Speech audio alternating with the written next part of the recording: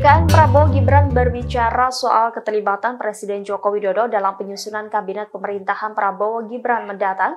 Jokowi disebut akan memiliki peran yang signifikan dalam hal tersebut. Dewan Pakar TKN Prabowo Gibran Budiman Sujatmiko saat ditemui pada Jumat 23 Februari menilai wajar apabila Presiden Jokowi terlibat dalam penyusunan menteri yang ada di pemerintahan Prabowo Gibran mendatang.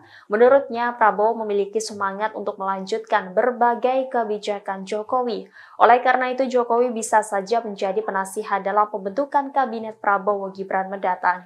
Secara terpisah, Dewan Pakar TKN Prabowo Gibran, Derajat Wibowo juga meyakini Presiden Jokowi akan memiliki peran yang signifikan dalam penyusunan menteri. Meski demikian, kata Derajat yang memiliki kewenangan penuh untuk menentukan menteri-menteri adalah Prabowo Gibran.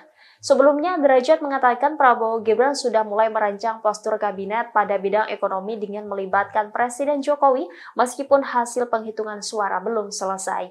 Menurutnya, alasan mengapa mereka sudah mulai merancang anggota kabinet sektor perekonomian karena situasi pada masa mendatang diprediksi akan mengalami masa yang cukup menantang di dalam dan luar negeri. Dalam merancang anggota kabinet sektor perekonomian itu, kata Derajat, mereka bakal mengutamakan prinsip merit.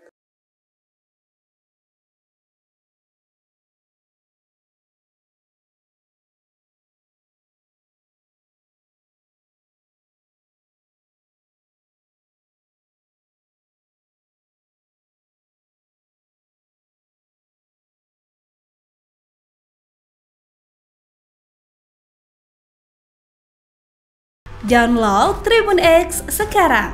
Menghadirkan lokal menjadi Indonesia.